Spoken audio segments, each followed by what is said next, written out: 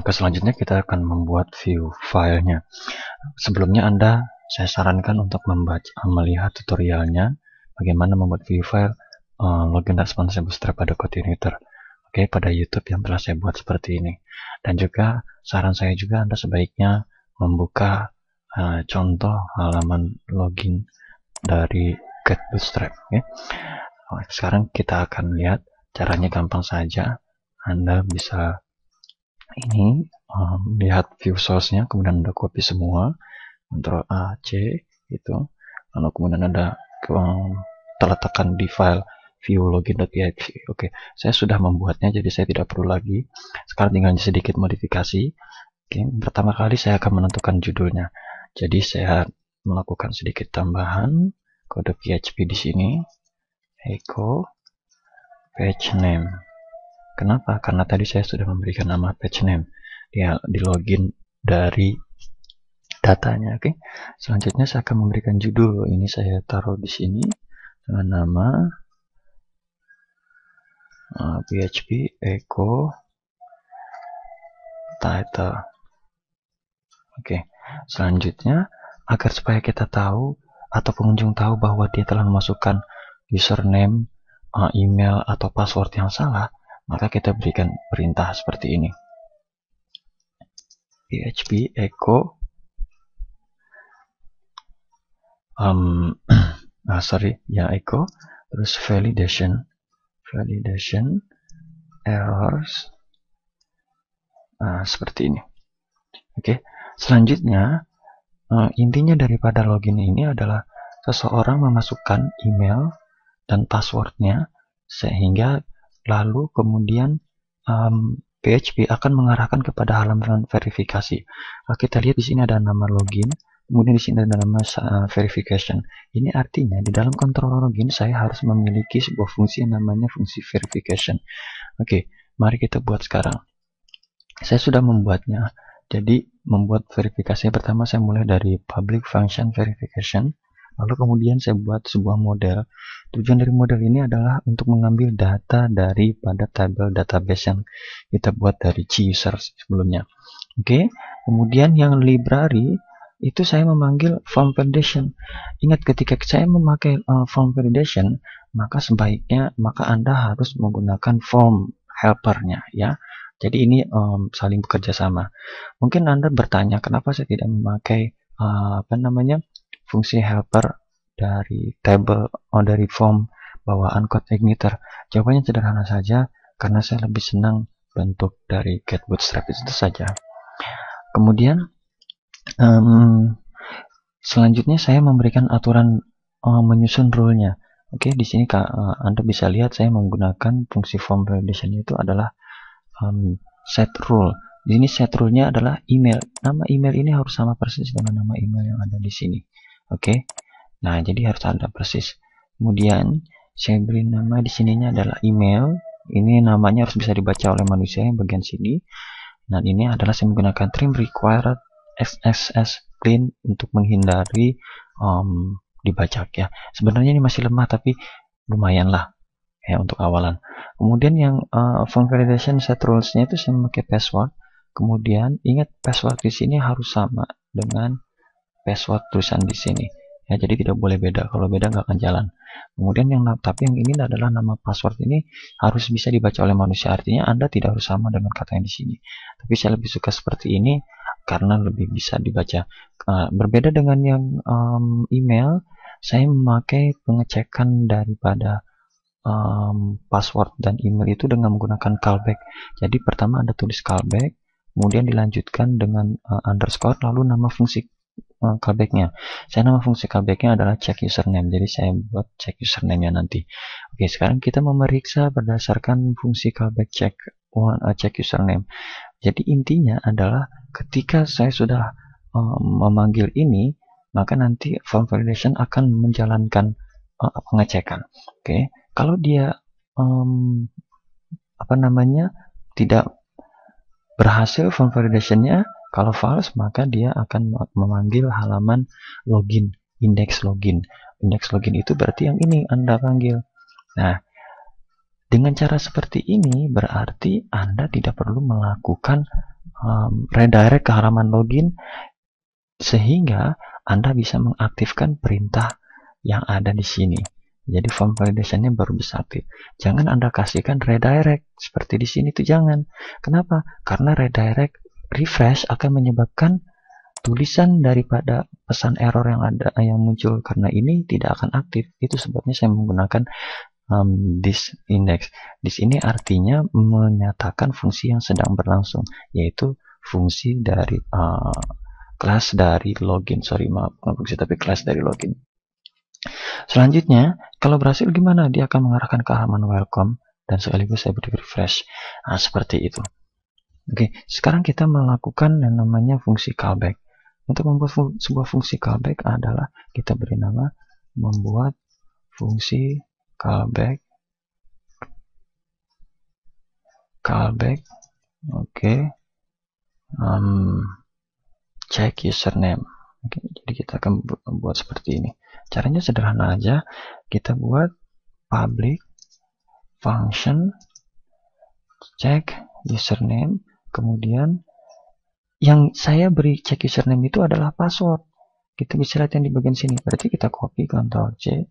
Ini kita taruh di sini. Ctrl V. Ya. Um, namanya boleh beda tapi intinya itu adalah password. Oke. Okay. tapi saya lebih suka uh, disamain supaya saya bisa paham mana error-errornya. Gitu itu adalah trik ketika kita melakukan pemrograman kalau ternyata terjadi kesalahan kita nggak perlu capek-capek nyarinya di mana oke okay? Nah, selanjutnya saya memberikan sebuah perintah seperti ini, yaitu this. Uh, sorry, saya memeriksa email. Emailnya itu saya dapatkan. Jadi email yang di sini saya dapatkan melalui perintah input. Jadi this hmm, input input dari posnya itu adalah namanya email. Oke, ini nama email ini tidak nama email yang di sini tidak sembarangan, harus sama persis dengan nama email yang ada di sini. Gitu. Jadi tidak boleh berbeda. Kemudian saya beri nama lagi namanya results. Results ini adalah hasil daripada pengambilan data model. Oke, tadi kita sudah memberikan data model namanya users, maka di sini juga harus tulisnya users, tidak boleh beda juga. Oke, kemudian saya beri nama um, di dalam fungsi users itu ada nama fungsi namanya fungsi login. Kita akan buat nanti, tapi sekarang kita buat seperti ininya dulu. Email, password. Hmm, Oke. Kemudian seandainya tidak ada data yang berhasil dikirim, jadi resultnya itu maka jadi error. Tapi kalau seumpamanya ada gimana? Kalau seumpamanya ada berarti kita akan memeriksanya. Oke, jadi saya beri nama perintah for each. For each masing-masing uh, data result itu saya sebut sebagai um, data. Oke, Anda bisa menggunakan nama lain, umpamanya hasil, umpamanya. Tapi saya sebut seperti itu ya. Jadi uh, itu masalah trik menulis saja. Kemudian saya beri perintah this session. Nah, kali ini saya akan membuat sebuah um, menyusun set baru daripada sessionnya. Karena session ini akan berguna untuk memeriksa um, login atau tidaknya. Jadi saya buat sebuah with. With di sini artinya user data, uh, user ID ya. Tadi uh, sebelumnya sudah saya jelaskan di videonya. Oke. Kemudian ini saya beri nama this session. Saya membuat sebuah session baru di sini namanya user data. Kemudian ini saya beri nama username. Username. Kemudian ini data um, username. Oke. Nah, seperti ini. Kemudian this session set user data. Nah, ini yang bagian adalah login. Oke, okay. jadi dengan login ini kita bisa tahu dia sudah login atau belum. Kemudian kita beri perintah true. Nah, seperti itu. Oke. Okay. artinya dia benar sudah login. Nah, seperti itu ya. Kemudian ini saya beri nama return true. Return true ini nanti akan ditangkap oleh um, fungsi validation run sebagai validation run sebagai true. Oke. Beda kalau ini menyatakan um, bukan ini tidak akan dipakai oleh validation rule karena true di sini adalah set daripada login. Tapi kalau ini nanti yang akan dibaca oleh validation row. Jadi tolong dipahamin bahwa bedanya true bagian sini dengan true di bagian sini itu nggak sama fungsinya. Oke, selanjutnya seandainya dia itu gagal um, login, berarti check username-nya akan memberitahu seperti ini. This form validation ini saya beri sebuah error set message set message namanya adalah check username oke okay. kemudian saya beri perintah perintahnya seperti ini hmm. seandainya dia melakukan kesalahan ya itu bisa aja saya beri sebuah perintah seperti ini ini saya beri huruf tebal b class Oke, ini namanya text danger. Kelasnya kelas text danger. Text danger ini akan menyebabkan warna teks Anda menjadi uh, agak merah ya. Itu adalah fungsi daripada uh, adalah kelas daripada um, get bootstrap. Anda bisa pelajari di situsnya. Oke. Okay.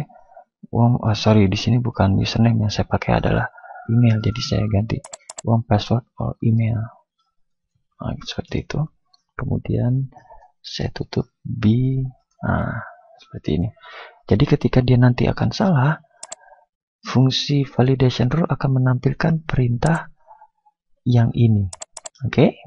nah, saya harap anda mengerti bagian yang situ ya. Kemudian saya beri perintah return false. Nah, berarti nanti validation rule akan membaca um, fungsi check username ini sebagai false. Oke. Okay? Nah. nah, seperti itu kemudian kita save. Nah, tapi ingat membuat sebuah fungsi ini ya Anda tidak akan jalan begitu Anda login karena Anda membuat sebuah controller yang berbeda. Yang satu adalah controller daripada um, index dari welcome, yang satu lagi controllernya adalah controller untuk login. Nah, sessionnya ini nanti akan beda, nggak akan bisa ketangkep. Artinya, session ini nanti tidak akan bisa terbaca di session, uh, tidak akan terbaca oleh uh, controller welcome. Jadi supaya bisa terbaca, Anda harus memberikan sebuah perintah yang namanya adalah membangun um, construct construct tujuannya adalah supaya um, dia bisa dibaca public function construct. Nah seperti ini. Kemudian saya beri perintah parent. Ini tidak harus yang bagian parent construct tapi saya suka saja suatu waktu saya bisa mengeditnya. Oke. Okay. kemudian ini saya beri nama session ya saya menggunakan perintah um, PHP sebenarnya. Nah, dengan cara seperti ini, ya, data session yang saya sudah setting di bagian um, check username akan terbaca di controller welcome. Nah, seperti itu triknya. Oke. Okay? Um,